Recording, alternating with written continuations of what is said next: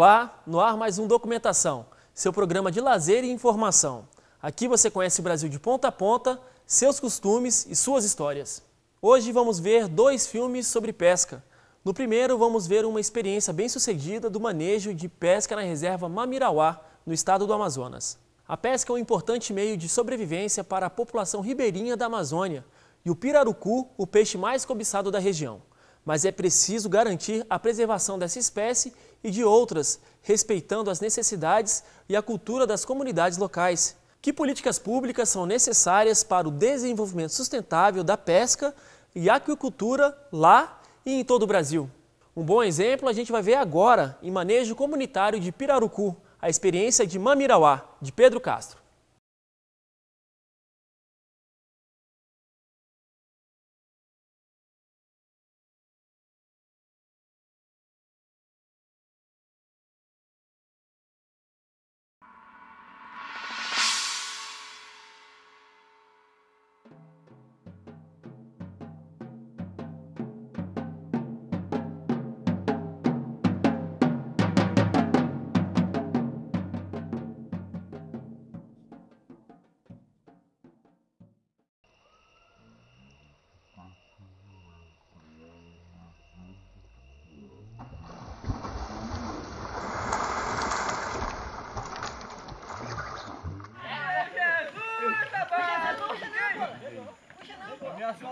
Bye.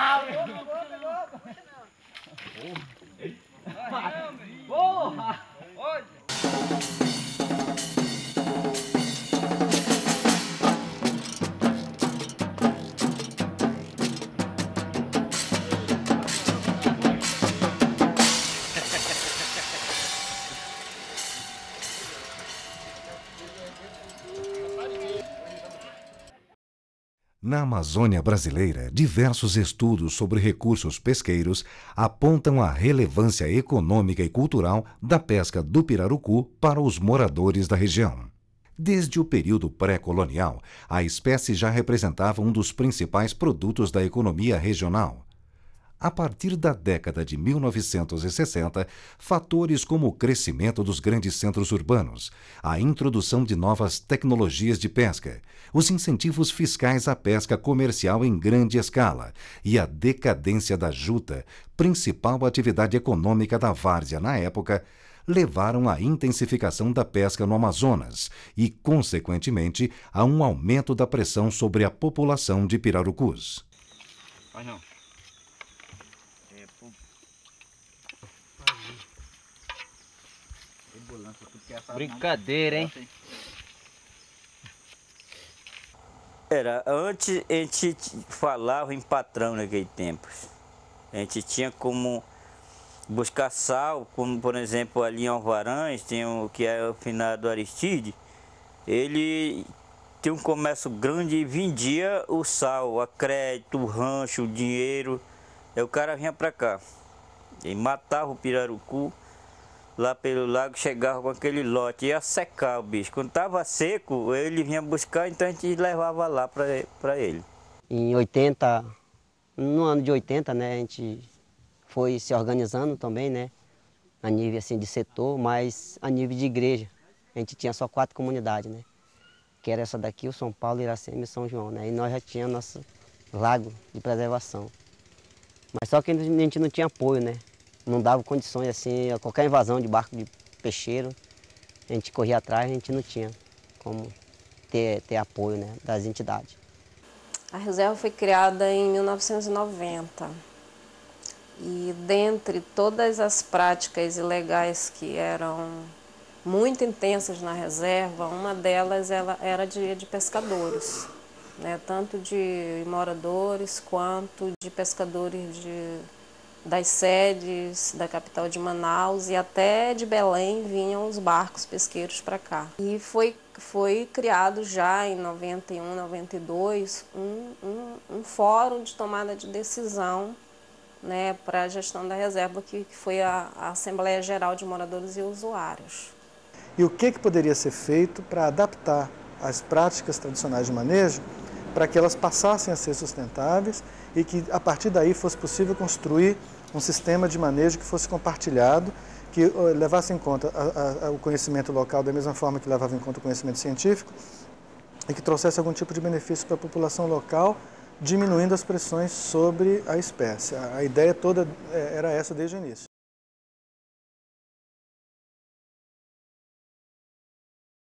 O Instituto de Desenvolvimento Sustentável Mamirauá aliando o conhecimento científico à demanda dos pescadores de regularização de sua atividade pesqueira, elaborou um primeiro projeto de manejo comunitário de pirarucu aprovado pelo IBAMA. A experiência iniciada em 1999 envolvia os pescadores de quatro comunidades do setor Jarauá e a equipe técnica do Programa de Manejo de Pesca do Instituto Mamirauá. Com os resultados positivos, o manejo foi expandido em 2001 e 2002 para os setores Tijuaca e Coraci, nas reservas Mamirauá e Yamanã, além da colônia de pescadores Z32 no município de Maraã. Então, as pesquisas que foram necessárias foram aquelas pesquisas mais básicas. Saber de que forma o peixe era pescado, em que intensidade essa pesca se dava, quais eram os principais aspectos de manejo dessa pesca, ou seja, quais eram os utensílios de pesca que eram aplicados, como é que se faziam as expedições de pesca, qual era a produtividade pesqueira e qual era o tipo de animal que estava sendo abatido, que era principalmente bichos jovens né, naquela época. É, por um outro lado, a gente tinha que entender um pouco a biologia da espécie para saber quais eram as capacidades do estoque de se regenerar. Os antigos mesmo, o papai mesmo falava que como é, ele pescava um mês para matar três, quatro pirarucu, né? e como que vocês vão matar 120 pirarucu durante 15 dias, 20 dias? Não, mas os caras disseram que tem, é manejado, a gente vai tirar. Tava com quatro anos que a gente não.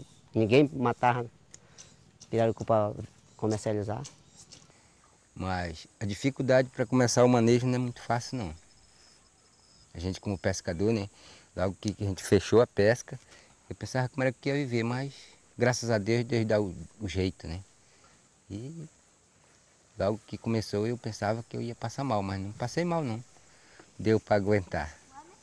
Só o fato de se trabalhar dentro da legalidade e despreocupado com recursos que sempre trouxeram problemas né, com a fiscalização, isso já é um ganho bastante positivo. E a gente procura mostrar isso para as pessoas. A gente entende que o desenvolvimento sustentável passa, sim, por um sistema de fiscalização, de controle né, e vigilância, tá certo? com a participação das comunidades e a sustentabilidade disso passa também com a participação das comunidades, né, contribuindo de diversas formas para que esse sistema continue existindo. Então nós temos isso no estatuto, nós temos essa lei que ela ampara, né, no nosso estatuto que ela garante isso, porque está no estatuto. Então, essa é a melhor forma que a gente achou para trabalhar com a associação e trabalhar com manejo e as pessoas respeitando e conhecendo, né? Como você vai poder trabalhar e viver ali dentro e conviver com, esse, com essa parte desse trabalho que é a preservação. Quanto ao setor de pesca, a gente como pescador, nós temos muita dificuldade porque há muita proibição e está ficando difícil os locais para a gente trabalhar, está sendo diminuída os locais.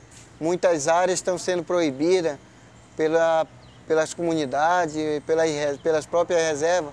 Então, por lado do pescador está ficando mais difícil.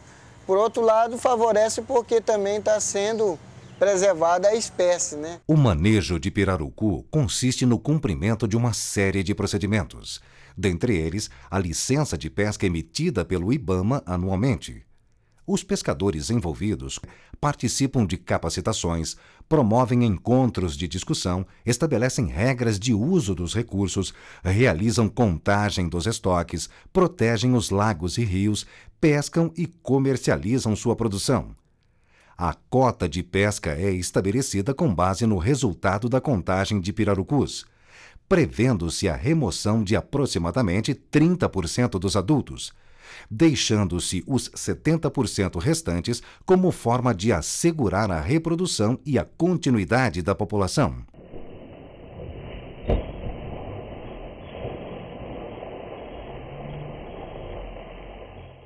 Como que eles contam pirarucu? Não é simplesmente determinar a área e marcar o tempo, que se eu fizer isso, vocês fizerem isso, não, não vai contar. O que acontece é que os pescadores sabem que o pirarucu que boia aqui pesa 40 quilos, é meio vermelho, deve ser um macho e, e é meio gordo. O pirarucu que boiou aqui é uma fêmea de 50 quilos, não sei o quê, que, tá, que mergulhou e foi para lá. O método de contagem, na verdade, se embasa na capacidade do pescador ver diferenças individuais entre os, os pirarucus que estão boiando. Ou seja, se o lago tem 10 hectares de área, eles determinariam uma área que eles sugeriram que deveria ser de 2 hectares no máximo e também determinamos que a gente contaria os animais adultos, aqueles maiores de um metro e meio. E fizemos várias provas e determinamos que a contagem deveria ser feita por um período máximo, na verdade um período fixo de 20 minutos, nem mais nem menos.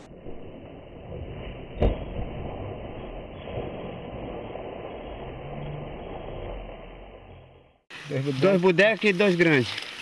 Quatro bodecos. Quatro bodecos. Dois pirarucu. Sete bodecos. Três pirarucu.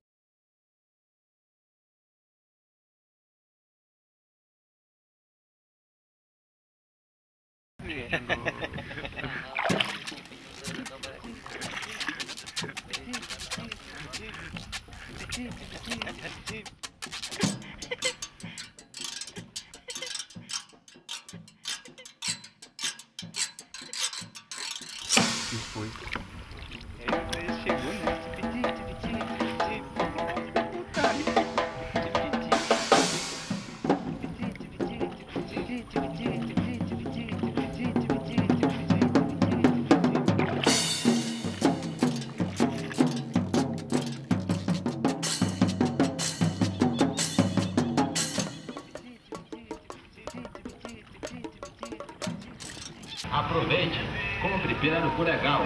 Esta você não pode perder.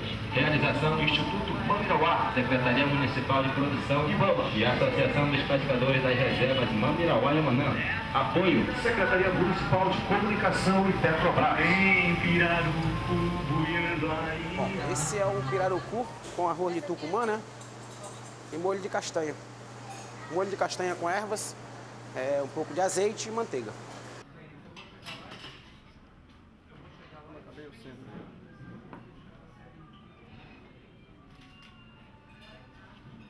Na questão da comercialização, eu acho que foi o, o aonde a gente teve mais dificuldade, tropeçou mais. Porque o Mamirauá acabava assumindo um papel que não era dele, que era o de comercializar uma produção que ele não produzia, e a comunidade de ficar dependente do Mamirauá para esse processo. Então já tem uns dois, três anos que a gente está trabalhando para evitar esse tipo de situação para fazer com que a comunidade se responsabilize por essa comercialização. Desde a negociação de preço, negociação de, de, de transporte, gelo, armazenamento e tal, até o recebimento. Ó, no passado a gente vendeu a quatro reais um. Agora esse ano ninguém ainda não tem preço. É, essa é a segunda vez que nós estamos. Segundo ano, né? Que nós estamos trabalhando com, com a língua. E a gente espera que isso continue, né? A gente está lutando para que a gente também faça um produto bom para que as pessoas gostem, né? Rapaz, eu fico invocado que da agora juntaram um bocado de dinheiro, era 600, era 500, não dava 2 mil. E agora um pedacinho para cá deu 110, já de repente. Vamos notar aqui, agora, É, agora por comunidade de novo. Apagar. Zé Gordinho, Zé Gordinho tá anotando. Agora aqui nós vamos colocar o que vai ser descontado desse valor aqui, aí para depois nós somar e fazer pagamento. Aí tá aqui, ó. Vocês estão devendo um real aqui. Você tem um real aí? Deixa eu ver. Passa, passa logo pra cá. Confere o dinheiro depois. Quando chegar lá, não tem dinheiro. Já deveu da grana? Eu teve um ano do manejo que eu fui até Manaus com, com um comprador que comprou, né? Então, o- esse peixe ele é manejado tudo só numa época, né? O peixe chega tudo quase só num dia em Manaus, né? E aí fica difícil de vender, porque sim que lá tem muita gente, né? Que é a capital, mas também chega muito peixe, né? Aí abastece. Os compradores só dão aquele preço que eles quiserem, né? Agora, se a indústria tivesse já um trabalho né, de, de, eh, melhor processar esse peixe, buscar outros mercados, com certeza isso teria.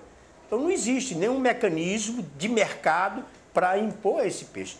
É que a desorganização, a falta de estrutura dessa cadeia.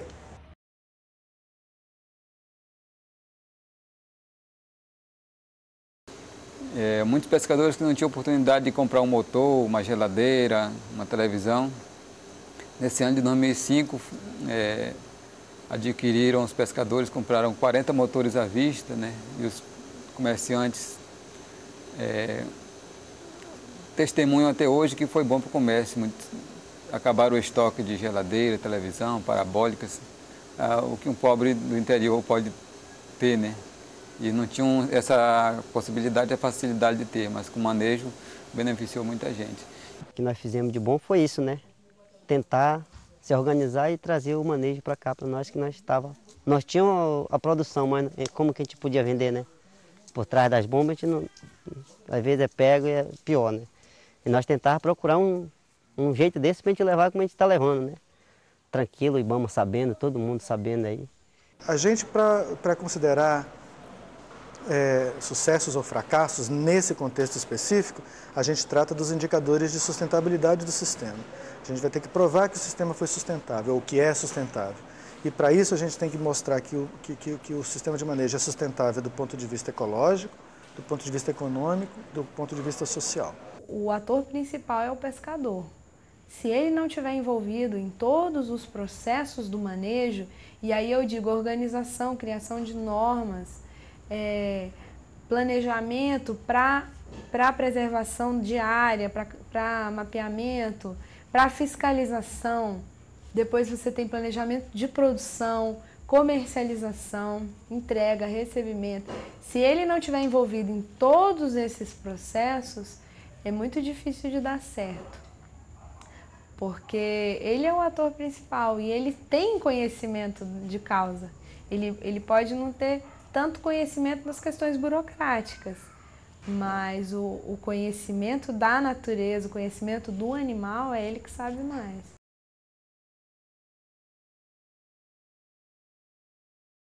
Após oito anos de experiência, houve um aumento de 42 para 671 pescadores envolvidos, de 3 toneladas de pirarucu para cerca de 222 toneladas, e de cerca de 16 mil para 834 mil reais de faturamento bruto.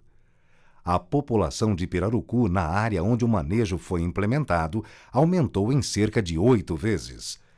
Atualmente, outros dois municípios e mais 12 comunidades estão implementando o manejo.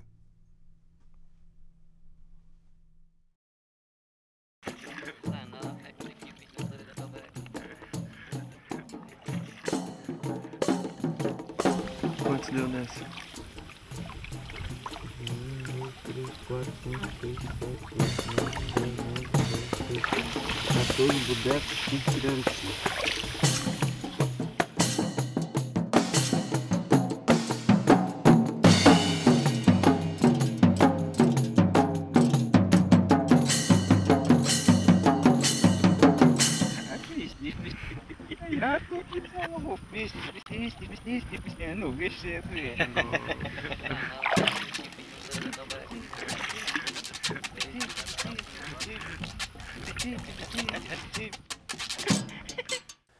agora vamos ver o segundo filme, Histórias de Superação na Alfabetização de Pescadores.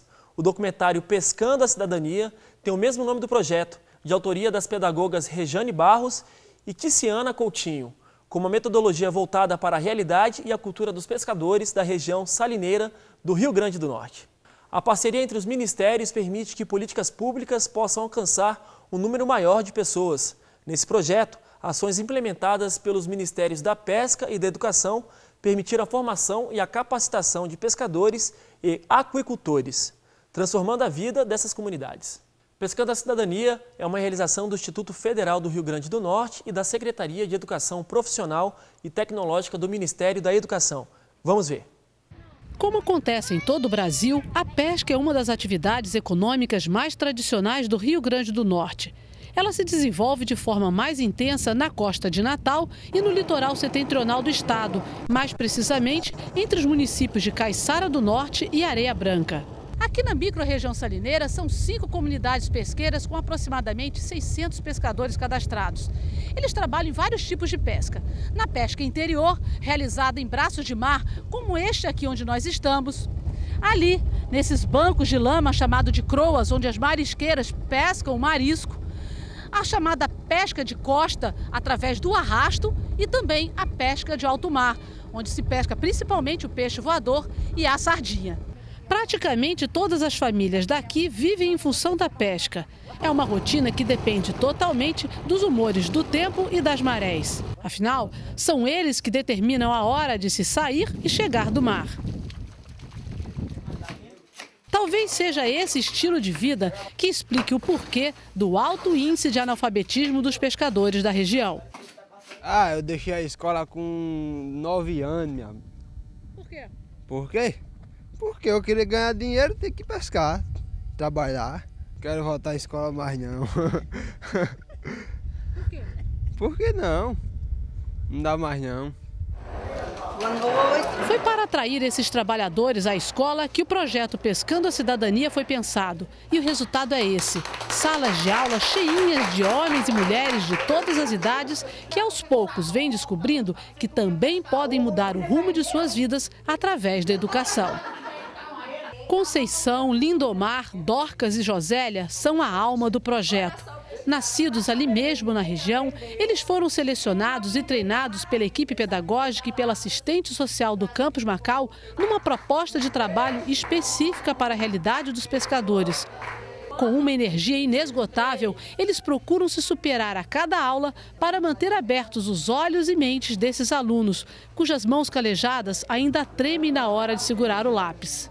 É uma dificuldade imensa, porque chego cansado, a luta constante, e nós temos que ser bem ágil para fazer uma aula diferente para com que eles se mantenham na nossa aula. E tem conseguido? Tem conseguido, graças a Deus. Os 120 alunos do projeto são divididos em cinco turmas, duas na sede do município, em Macau, e três nos distritos de Barreiras, Diogo Lopes e Sertãozinho. São seis horas de aula semanais, divididas em dois ou três dias da semana, de acordo com a rotina dos pescadores das comunidades. Para a dona Rosimeire, marisqueira, as aulas do Pescando a Cidadania são o ponto alto do dia. Com a filha Maria Vitória quietinha ao lado, ela capricha no traçado das letras, confiante de que é ali, na escola, que está a chave de um futuro melhor. Hoje eu estou com 30 anos, estou aprendendo a primeira vez a escrever meu nome. Né? Vou continuar terminar meus estudos, se Deus quiser. E quando terminar a etapa novamente, espero estar aqui. Eu tinha vontade, mas eu tinha vergonha, uma vergonha de sair com um caderno. Eu tô... mas aí depois eu passou a vergonha, enfrentei, então agora estou com vontade de aprender. Qual vai ser a primeira coisa que a senhora vai querer ler? Quero ler a Bíblia, é, sou evangélica e eu quero ensinar para as pessoas. Além de se alfabetizarem, os alunos participam de encontros como esse, sobre saúde e atividade física. Quem gosta das coisas boas da vida, longe. Isso é muito importante para trazer cada um deles para a sala de aula, trazer cada um deles para esse encontro de forma a sensibilizá-los e mostrar a importância do nosso projeto. E esse fato é, tem acontecido uma vez que a gente percebe e, e computa no seu dia a dia, os professores estão computando isso, o nossa evasão é zero. Então não existe nenhuma desistência ainda, e esperamos que não aconteça, de nenhum aluno de nenhuma das turmas. Com esse projeto, você acha que o IFRN ele sai na frente em relação aos outros institutos que têm cursos de recursos pesqueiros? Sim, porque nós começamos com a alfabetização, né? procurando fazer com o pescador ser alfabetizado para poder ingressar depois, como aqui no EJA, né? depois chegar, quem sabe, a fazer um curso técnico. Acredito que tem que começar na base. Esse é o nosso grande diferencial dos demais institutos. Um, dois e três. Minha jangada vai sair pro mar. Vou trabalhar, meu bem querer. Se Deus quiser, quando eu voltar do mar, um peixe bom eu vou trazer. Meus companheiros também vão voltar e a Deus do céu vamos agradecer. Palmas vocês. Para conhecer mais sobre as políticas públicas para aquicultura e pesca, acesse o site do Ministério da Pesca www.mpa.gov.br. Obrigado pela sua companhia e até semana que vem. Um abraço, tchau!